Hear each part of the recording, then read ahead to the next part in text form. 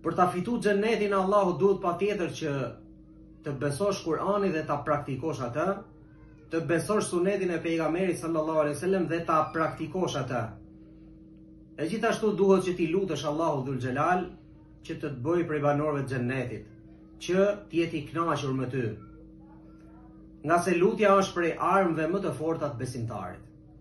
Një prej dijetarëve të moçëm Ibrahim ibn Edhem kur po kalonte pranë pazarit të Basrës së Irakut, iu afruan pranë tregtarët dhe i thanë: O Imam, a nuk thotë Allahu në Kur'an, m'u përgjigjni mu, m'u lutni mua që unë t'ju përgjigjem ju?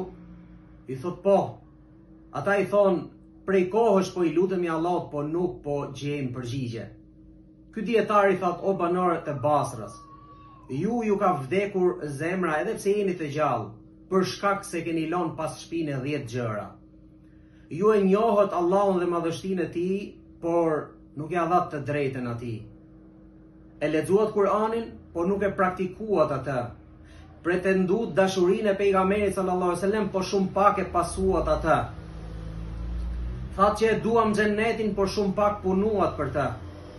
Thatë që i frikësohemi zjarrit të xhehenemit, por veten peng e latë për të.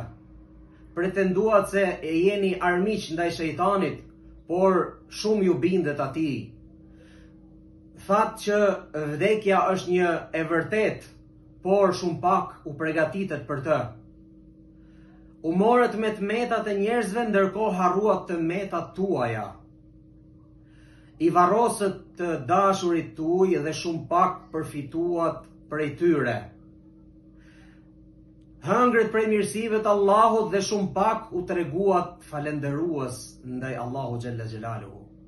E lus Allahun subhanahu wa taala